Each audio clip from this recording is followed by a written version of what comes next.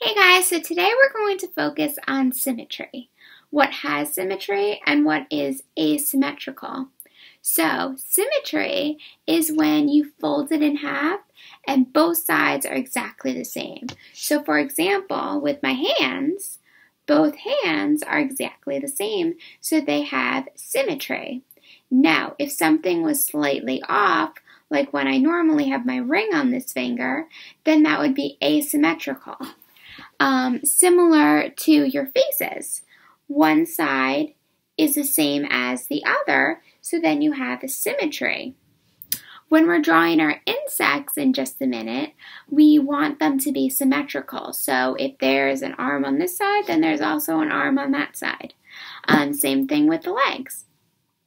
Um, but the background we're going to do with asymmetry, meaning that it's going to be different all over the place.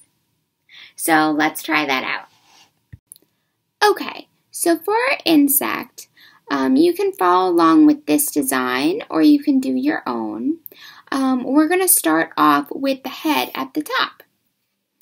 So I'm going to try to make it along this line because it's easiest if um, you're able to see both sides of the line and be able to cut it in half like so. So I made this like rounded um, triangle like thingamajig going on over here.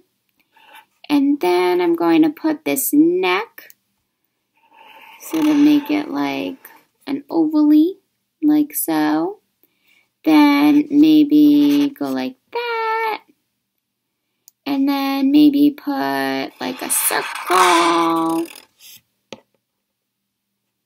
And then this like thingamajig like so. Now from here, we can put the little chompers that are going to bite at us. You can put some arms. Try to make the arms exactly the same. So what I like to do is when I start on one side, I do the same thing to the other side. And it's okay if they're slightly off, just try to get them as close to the symmetry, even on both sides as you can get it. Then from this one, let's see, we're going to make this one sort of going downward a little bit.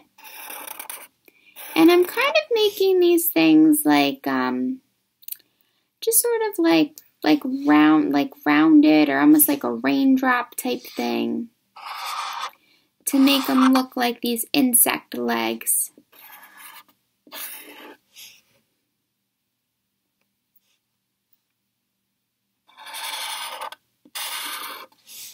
And as you can see, I'm just kind of going back and forth, just evening it out. Trying to get it as even as I can. And then once I have that, I'm going to put some little uh, don't know, like feelers at the end here.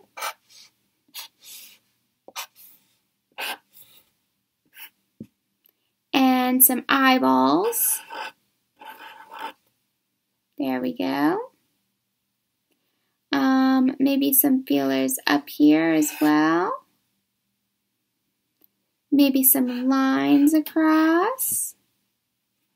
Maybe even some lines down here too.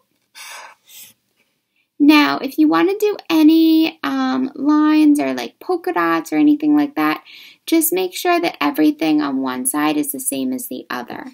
So if I were to put a circle, kind of splitting it down the middle, and if I put a half circle on this side, I want to do a half circle on that side.